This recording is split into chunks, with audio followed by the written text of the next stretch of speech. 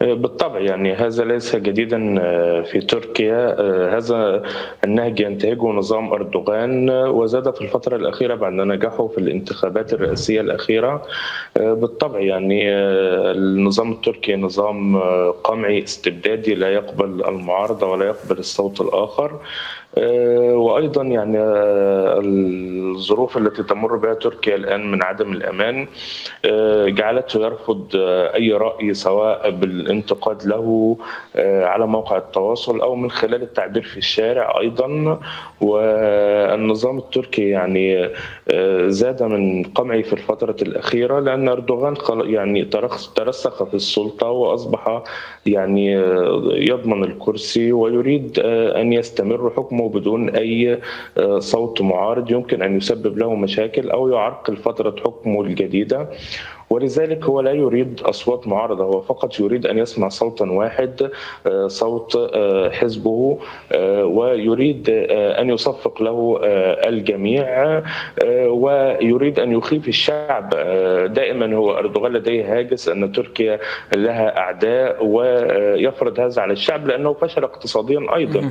يعني رجب طيب أردوغان الذي كان يتحدثون عنه أنه سبب من نهضة تركيا هو الآن يعني هو سبب خراب الاقتصاد التركي هل يخشى النظام التركي من أي حالة توحد بين صفوف المعارضة؟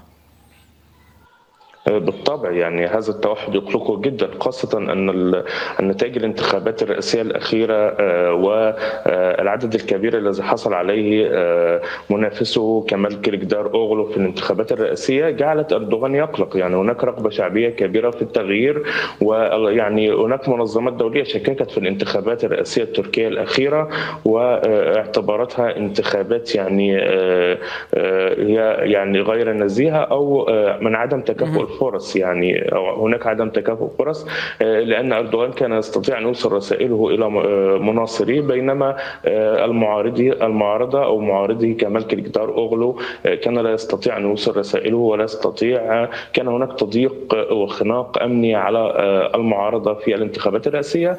وما يحدث اليوم هو طبيعي جدا لأن أردوغان حس أن هذه السلطة هو له وحده ولا يريد أحد أن يراجعه فيها. نعم.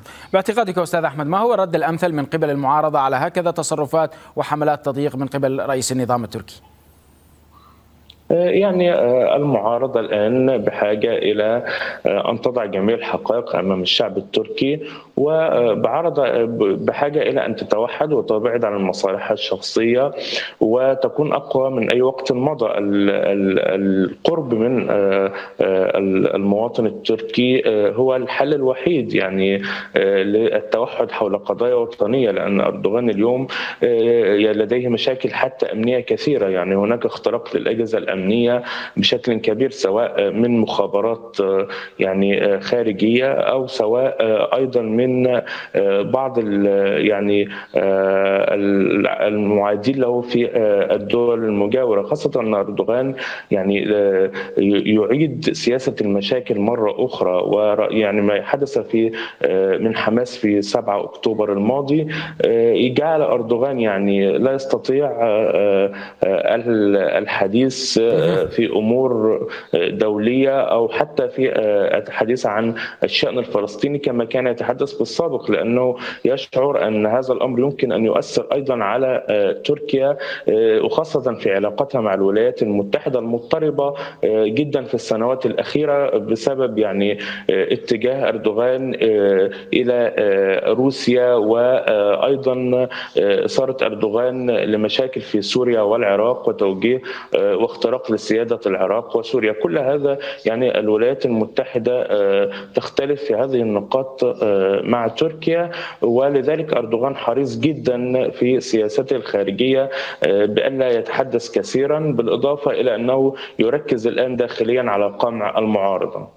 أشكرك جزيل الشكر أحمد المالكي رئيس مركز شؤون دولية باللغة العربية للدراسات السياسية والإعلامية. على هذه المداخلة كنت معنا مباشرة من القاهرة.